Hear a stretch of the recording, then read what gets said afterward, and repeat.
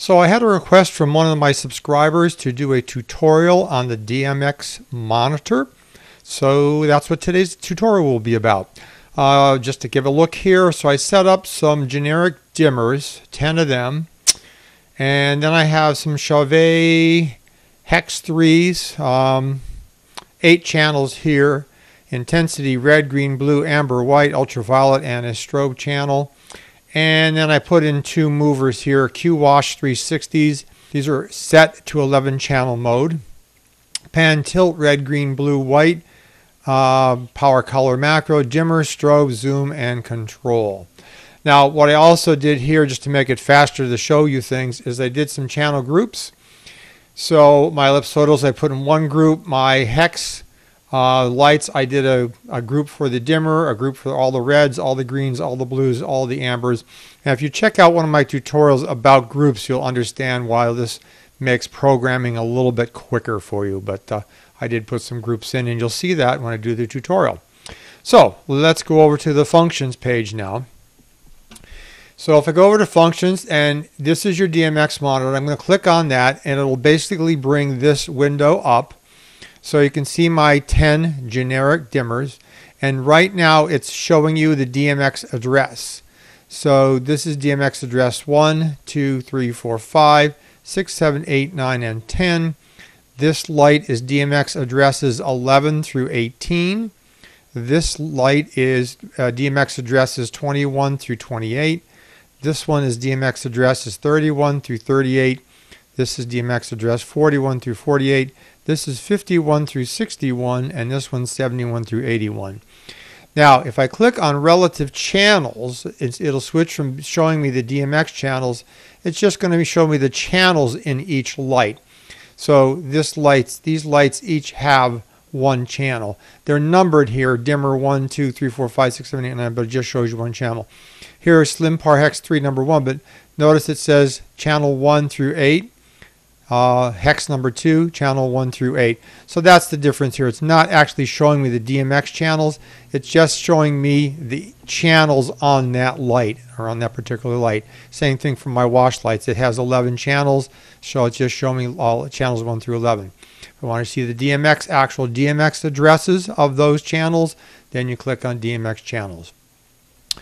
Um, also, when we're changing things in here, we can look at it as either being DMX values, which is 0 to 255, or percent values, which is 0 to 100. And as far as universes goes up here, uh, all these lights are in universe 1, so if I select universe 1, it will show these lights.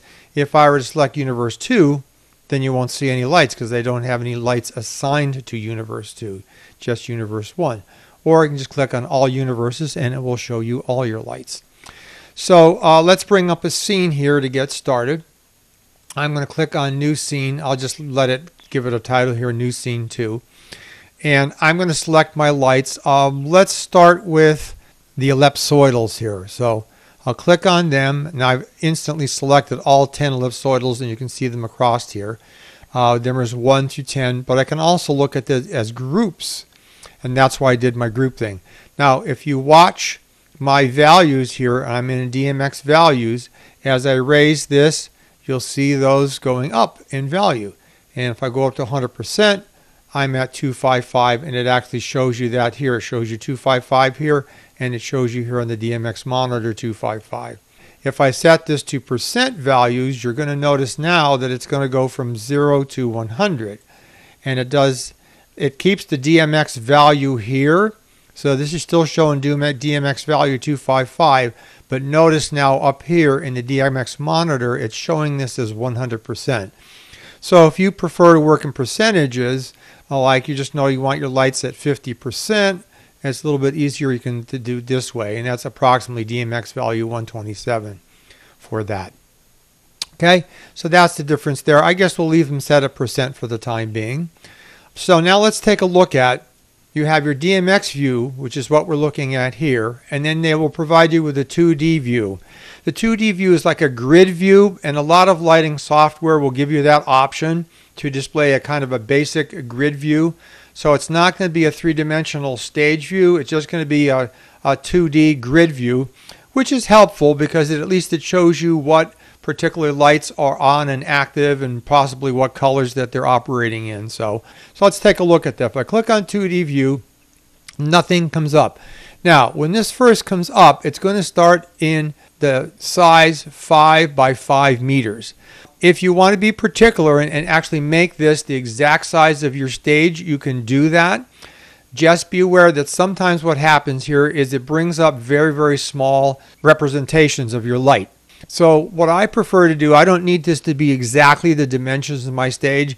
I'm just going to uh, pick a dimension that's going to give me a good size of my light representation. The way that the lights are represented on this grid or the size of the lights is determined by the fixture definition file, which we have no control over here, and that's just a topic for another tutorial.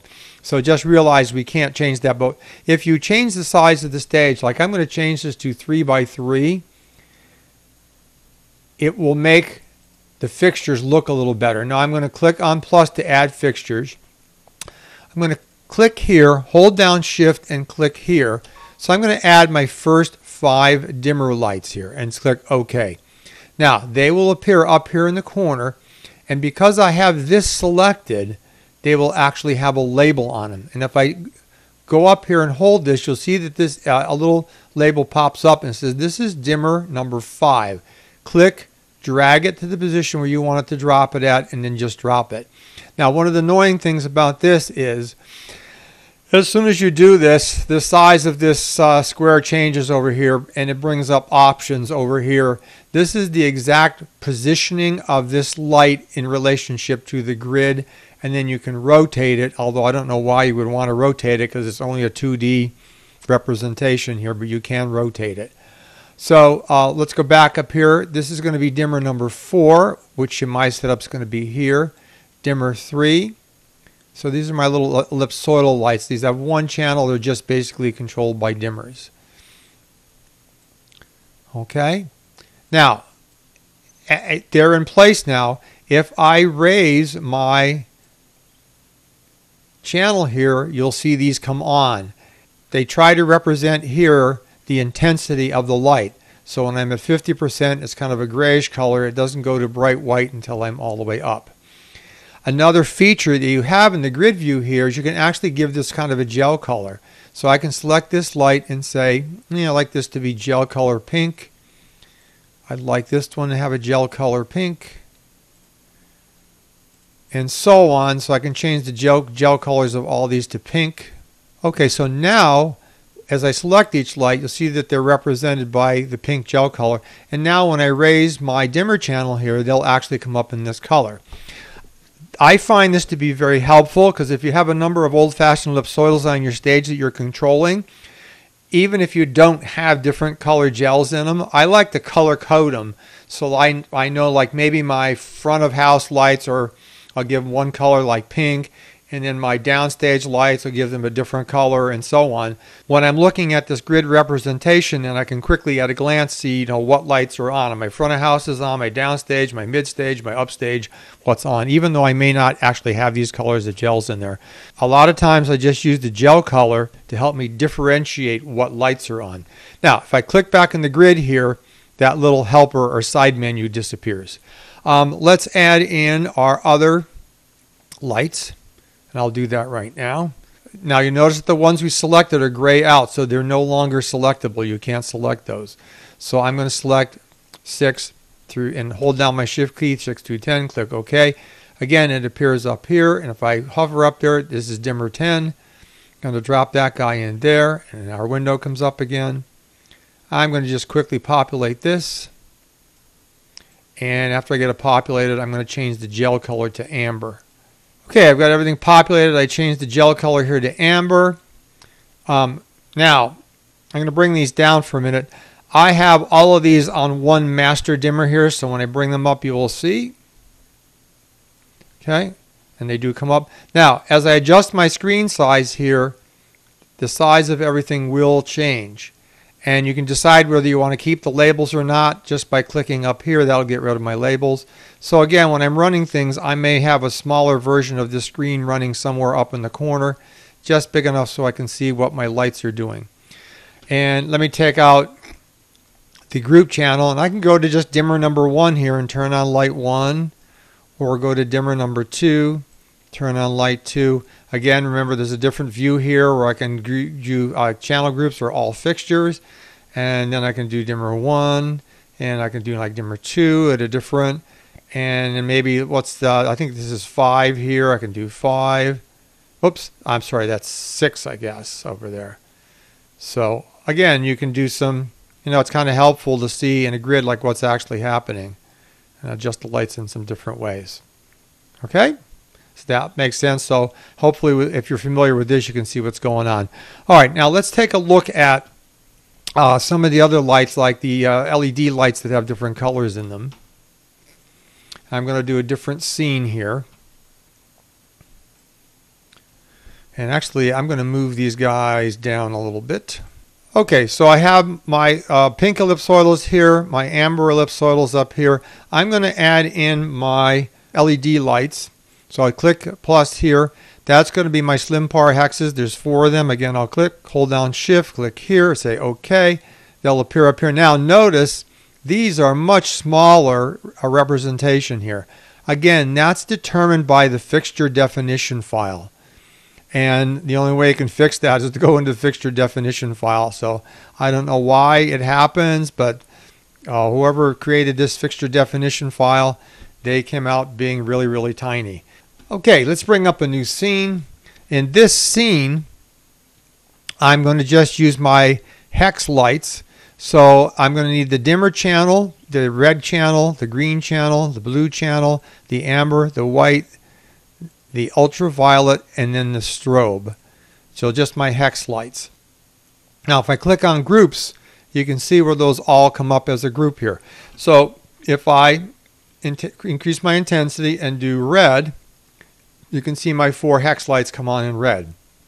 Now, since these are LEDs, if I start to blend in my green, let me enlarge this a little bit so you can see it better. You can see they go to an orange color. If I keep going, it's going to go to yellow because red and green at full intensity is going to give you a yellow color. If I pull my green out, start adding in some blue, I'm going to go to that pinkish color if I bring this down. So it tries to show you approximately what color you're going to have. Now, QLC Plus is not going to show you what happens when you add your amber channel in here because this is not that sophisticated. Some lighting programs will add try to add in the color of the amber and approximate what that color is going to look like. QLC Plus does not do that. So I'm adding in my amber channel. Now it is actually adding that color into your lights on the stage, but it's not showing us that in the grid view. Same thing if I move the white channel here, it's not going to have any effect in the grid view. It will have an effect on your lights on stage and same thing UV. So keep in mind the only thing that's going to get displayed in the grid view are the red, green, and blue channels. All right. If I were to bring all these channels up, then you will get basically white because you put red, green, and blue at full, you're going to get white. Uh, let me pull this back down and just make a kind of a pinkish thing. The strobe channel will be visible, but it won't actually show you strobe speed. So again, you'll have to look at what's going on on stage. This will just give you a general indication that there's some strobing going on.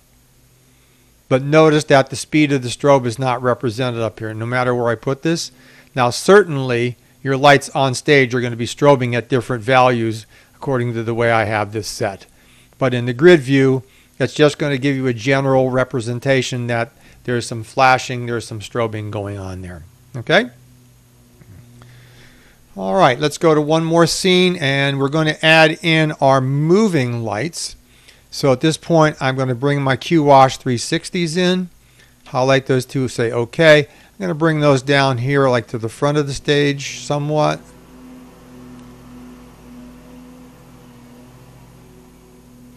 And we'll go back to this. And let's do a scene with our Q-Wash 360s. I'll add a new scene here. Um, same thing here. I'm going to do uh, my I need my pan channel, my tilt channel, my dimmer channel, uh, red, green, blue. And we'll add the white in. Again, it's not going to show anything in the grid here. So I can go to my channels groups now. Now you'll notice on any lights that have pan and tilt, they will have this kind of a purplish and a blue line going around here. The purplish is indicating the pan of the light, so the way that the light spins. And you'll see that purple changing as I move my pan control. See it move around from one side to the next. So it's just a little indication. Again, we're not in three dimensional, but it's a little indication that your pan is moving. So this is like about halfway through pan, and this is all the way. Again, how far the light will pan depends upon the fixture definition file. Then your tilt is going to be represented by the blue line. So right now the light is tilted in the up position. Now, right now it's probably pointed down at the stage, and now it's tilting up to the other side. So that's represented by the blue line, the tilting. The rest of this just looks like we did with the hexes. So we can light this up, we get red, we get orange, we get yellow, depending upon how we blend things in. Again, the white channel is not going to have any effect on the grid view. It will actually look differently uh, to your lights on stage, but this grid view is not that sophisticated, so it's not going to incorporate the white channel into the grid view. And then the same thing as we did with the hexes, if I add the strobe channel in, it will just generally show you that it's flashing. It's not going to show you the rate of strobe that's uh, happening up there. So, okay. All right. So hopefully you'll find this helpful. I do like this. Um, I don't typically run a 3D a visualization program when I'm actually doing a show, but I like to have some, something like this up and running up in the corner of my screen. I'll make it a lot smaller and put it up there, depending upon what size stage I'm working with. So at a glance, I can kind of look around and see what my lights are doing uh, really quickly so I can see if there's something that's not quite doing what I expect it to do.